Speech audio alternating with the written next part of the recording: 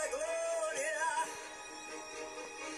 tuve tu devoción y me sentí querida, timbrada por la vida.